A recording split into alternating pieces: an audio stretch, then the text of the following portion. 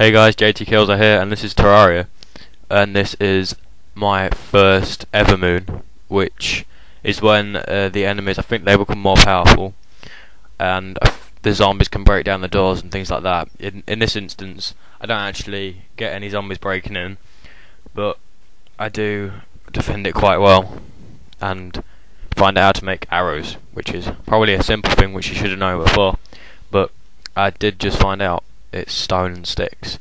And then I make flame arrows of them. Cause I've got so many torches I killed loads of slimes.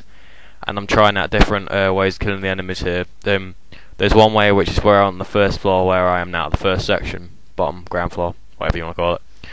I just wait for them all to group up and I close the door and then I'll use my sword and I'll take them all out in groups because when I'm using, I think I'm using the short sword, it can uh, like attack groups of enemies all at once.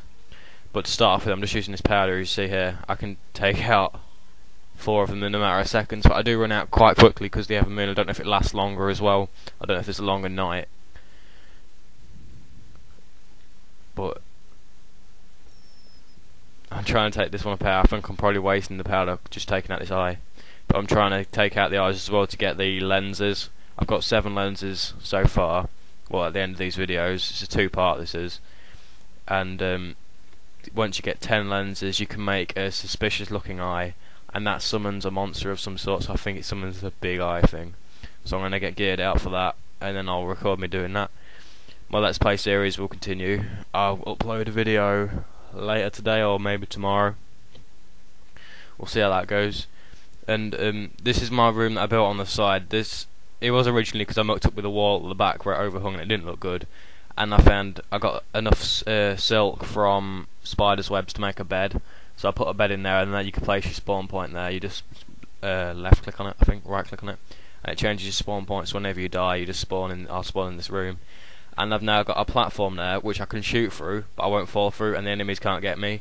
And as enemies run parallel to you most of the time, as you can see, the zombies aren't hitting the door, so I ain't got to worry about the door being broken into, and I can shoot down without like being hit, attacked, or losing any health. I do die once in this Evermoon, but that's quite a bit later on. I'm just taking out this guy with my sword. I'm, I'm doing 5 damage about a second, so probably probably 10 damage a second.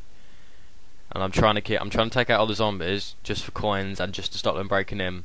But I'm not wanting the eyes to get in because they're quite difficult to kill uh, in confined spaces because they hit 18. And see, zombies are hitting 13 on me at the moment. I've got 140 HP overall. At the moment, I'm probably on about 120 because I found two uh, life heart things. And later on in this video I also do get kitted up because I found I'm just making some silver bars and bronze bars now.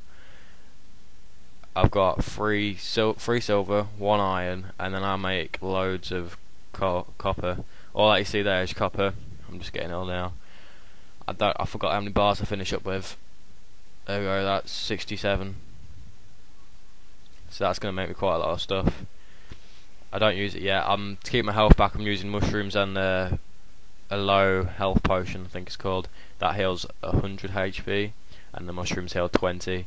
And there's about a um, delay timer of about 12 seconds, I think it is, maybe 10 to 12 seconds for them. So if you eat the mushroom, you don't have to wait 10, 12 seconds before you can use it again. I suppose it makes it a little bit more difficult. But I basically just keep on doing the same thing here letting them in, killing them with the swords, making sure the eyes stay out if I can. But the only way I die in the end is by one of the eyes getting in, which kind of annoys me. But I've got my helpful guide just sitting in the second floor, just helpfully doing nothing, which is really good. I'm really glad I built a room for him, to be honest.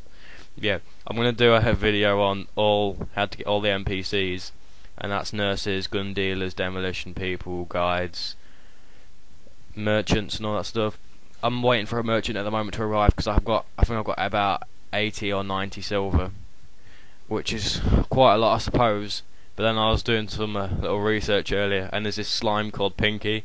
It's a really small slime, but it's got 150 HP, and it can drop 90 silver coins or more, which is a pretty a lot, especially because it does about 5 damage every time it hits you and you could even kill it with a uh, pickaxe, just a copper pickaxe that you start with. So to say in the first day, if you find one of them, even though they're quite rare, and you get 90 gold, 90 silver to start with. You've got a merchant maybe second or third day, so that's quite good. I will be releasing that guide also sometime this week. And if you guys have got any questions about items that you want to know how to find and all that stuff, then I will show you. I'm uh, while I'm not recording, I'm searching through mines and that, looking for different items. I found some sapphire, but I'm not sure what I'm going to do with that yet. I'm trying to limit my use of guides and just make them for you guys. Um, two sapphire so far, so I'm thinking I need three sapphire, uh, sapphire for a bar of sapphire bar, and I don't know able to make with that. I'm not sure yet, but I'm quite close to the suspicious eye. I'm gonna kill three more. Uh, demon eyes, hopefully, and they'll drop three lenses, and then I'll be able to make it. And I might just summon it just for lols, and then I'll probably die, or I might get geared up first. And in some videos you can see, so like some of the videos by the developers, Demon Logic, you can see they've got uh, like guns in some of the videos.